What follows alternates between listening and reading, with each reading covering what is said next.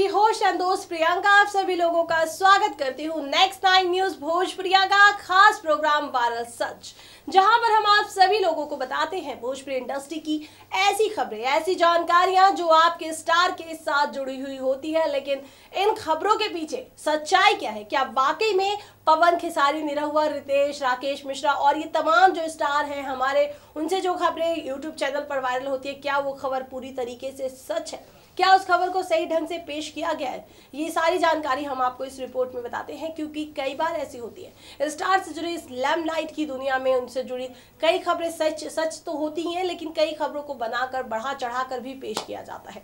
जिससे जो स्टार होती है, उनकी लाइफ पर, उनके करियर पर, उनकी पर्सनल लाइफ पर भी काफ़ी बुरा असर पड़ता है। फ़िलहाल, आज के इस वायरल सच के प्रोग्राम में शुरुआत कर देते हैं पवन सिंह को लेकर।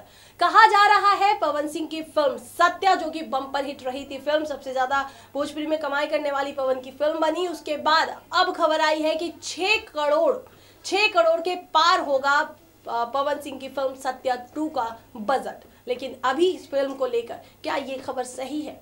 क्या वाकई में आ, सत्या टू जो है वो पवन सिंह की सबसे अब तक की हाईएस्ट बजट की फ़िल्म होगी? बिल्कुल जानते हैं रिपोर्ट के ज़रिए लेकिन उससे पहले आगे बढ़ जाते हैं अगली खबर में हम आपको दे बताने वाले हैं जिसमें कहा जा रहा है यूपी और दिल्ली में पवन सिंह ने मचा डाला है धमाल।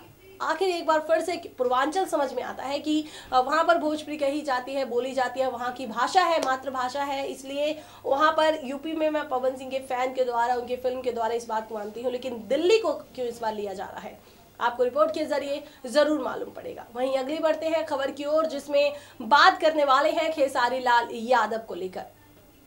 कहा जा रहा है खेसारी लाल यादव को, जी हाँ और उन्हें एक बार फिर से जेल जाना पड़ सकता है। एक बार फिर से, क्योंकि इससे पहले भी आप सभी को वो मामला पता होगा, वो केस माल आप लोगों को याद होगा कि सानिया मिर्ज़ा के ऊपर खेसारी लाल यादव ने गाना गाया था, जिसकी वजह से उन्हें जेल जाना पड़ा और वो काफ़ी ज़्यादा सुर्खियों में भी रहे। लेकिन एक बार फिर से उनके ऊपर ये तलवार लटकती नज़र आ रही है। लेकिन दोस्तों, क्या वाकई में खेसारी लाल यादव के ऊपर इतनी बड़ी मुसीबत आने वाली है? क्या उनके फैंस के लिए ये बुरी खबर है। बिल्कुल, आपको रिपोर्ट के ज़रिए ज़रूर मालूम पड़ेगा। वहीं अगली और आखिरी वायरल खबर में हम लेकर आए हैं जानकारी, जो कि हमारे भोजपुरी इंडस्ट्री के स्टार के साथ तो जुड़ी हुई है ही, लेकिन उसमें कहा जा रहा है कि सबसे ज़्यादा, जी हाँ जो भोजपुरी इंडस्ट्री के स्टार है, उसमें खेसारी लाल यादव और पवन सिंह। इन दोनों के अलावा तीसरा ऐसा स्टार है जिसे बिहार और पूर्वांचल की जो लड़कियाँ हैं, उन पर ज़्यादा, सबसे ज़्यादा उन्हें प्यार करती हैं। या यूँ कह लें कि उनकी बहुत बड़ी फ़ैन है। और इसमें कहीं ना कहीं आंकड़ा लेकर आया जा रहा है कि किसे सबसे ज़्यादा लड़कियाँ पसंद करती हैं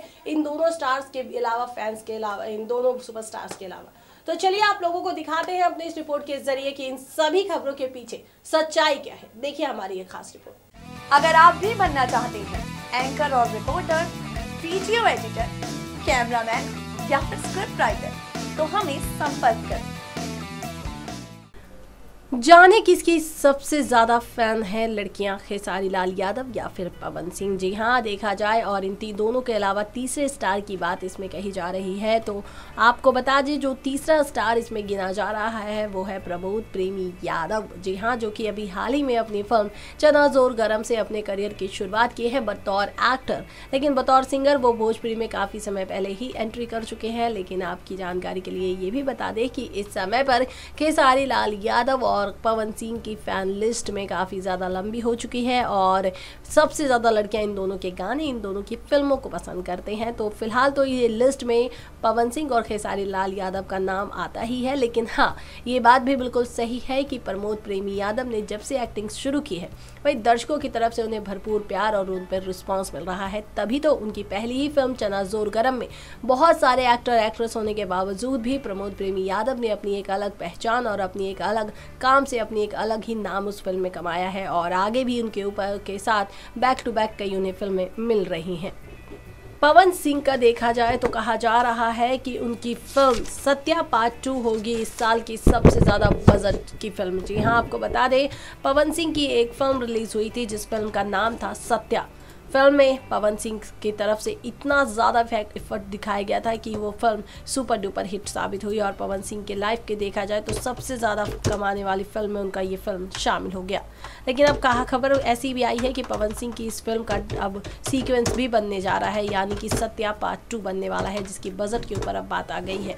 लेकिन और उसका बजट छः करोड़ के आसपास बताया जा रहा है, लेकिन दोस्तों आपको बता दें कि पवन सिंह और ना ही फ़िल्म के मेकर्स की तरफ़ से इस तरीके की कोई खबर सामने आई है जिसमें कहा जा रहा हो कि सत्ता के फ़िल्म का बजट छः करोड़ है। हाँ सत्या फ़िल्म जो है, सत्या पार्ट टू उसका बजट काफ़ी हाई होने वाला है, लेकिन निश्चित तौर पर किसी आंकड़े को नहीं अभी बताया गया है और कहीं ना कहीं देखा जाए तो खबर काफ़ी हद तक सही है, लेकिन उसे थोड़ा अलग ढंग से पेश किया गया है। अगर आप भी बनना चाहते हैं एंकर और रिपोर्टर वीडियो एडिटर कैमरामैन या फिर स्क्रिप्ट राइटर तो हमें संपर्क करें।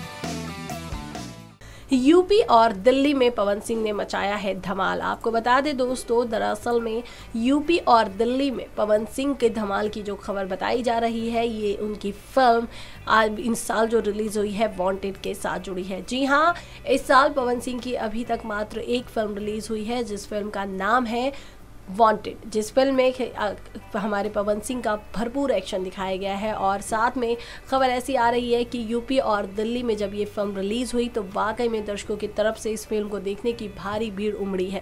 और कमाई के मामले में भी दिल्ली और यूपी में इस फ़िल्म ने धमाल मचाया है और कहीं ना कहीं देखा जाए तो ये खबर बिल्कुल सही है कि पवन सिंह की फ़िल्म वॉन्टेड जहाँ पर भी जिस राज्य में भी रिलीज़ हुई है, वहाँ पर दर्शकों की तरफ़ से इस फ़िल्म को भरपूर प्यार और रिस्पॉन्स मिल रहा है और कमाई के मामले में भी जैसा कि पवन और इस फ़िल्म के टीम मेकर्स को उम्मीद थी कि ये फ़िल्म दर्शकों को भाएगी और खूब पसंद आएगी। ऐसा ही हुआ है और पवन की ये फ़िल्म दर्शकों को वाकई में काफ़ी ज़्यादा पसंद आई है और कमाई के मामले में भी ये काफ़ी आगे निकल चुकी है। अगर आप भी बनना चाहते हैं एंकर और रिपोर्टर वीडियो एडिटर कैमरामैन या फिर स्क्रिप्ट राइटर तो हमें संपर्क करें। खेसारी लाल यादव को जाना पड़ सकता है जेल। आपको बता दें, इस समय पर खेसारी लाल यादव के देखे जाएँ तो उनके शायद सितारे जो है वो इस पर वक्त गर्दिश में चल रहे हैं। तभी तो एक पर एक खेसारी के के साथ जुड़ी कई ऐसी खबरें आ चुकी हैं, जिसे जानकर खुद खेसारी लाल यादव के जो फ़ैन हैं वो भी हैरान हैं। अभी हाल ही में खेसारी लाल यादव और गार्गी पंडित के बीच की वाद विवाद खत्म भी नहीं हुई थी, लेकिन उसके तुरंत बाद एक बार फिर से सुधीर सिंह, जी हाँ सुधीर सिंह और खेसारी लाल यादव का वाद विवाद शुरू हुआ और उसके बाद फिर खेसारी लाल यादव के ऊपर खबर आई कि उनके उनके गाने को लेकर कुछ लोगों ने उनके ऊपर एफआईआर दर्ज किया है। यानी कि अब बैक टू बैक देखा जाए तो खेसारी लाल यादव के ऊपर कई मुसीबतें आई हैं, लेकिन इन सभी चीज़ों को दरकिनार करते हुए खेसारी अपने काम में लगे हुए हैं और उनका साफ़ कहना है कि मैंने कोई गलती नहीं की है तो मुझे सज़ा नहीं मिल सकती है। तो ये जो जेल जाने वाली बात हम कह रहे हैं, जो खबर सोशल मीडिया पे आ रही है, दरअसल में इसे हम फ़िलहाल के लिए गलत ही कहेंगे, क्योंकि खेसारी लाल यादव की तरफ़ से कहना है कि उनकी तरफ़ से कोई गलती नहीं हुई है तो अगर गलती नहीं हुई है तो खेसारी लाल यादव जेल नहीं जाएँगे। तो देखा आपने दोस्तों कि आखिरकार पवन हो, खेसारी हो, आम्रपाली हो, अक्षरा हो जुबल स्टार दिनेश, लाल यादव, निरहुआ हैं या कोई भी स्टार हो।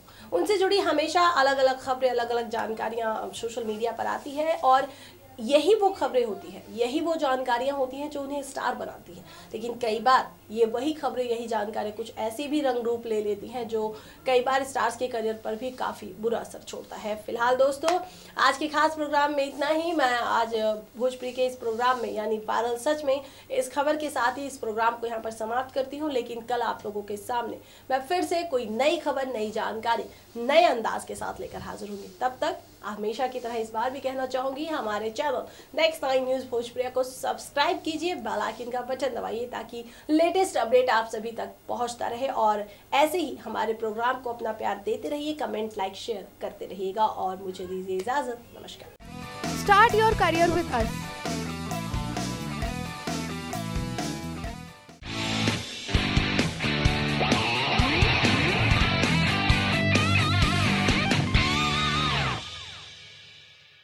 अगर आप भी बनना चाहते हैं एंकर और रिपोर्टर वीडियो एडिटर कैमरामैन या फिर स्क्रिप्ट राइटर तो हमें संपर्क करें। Start your career with us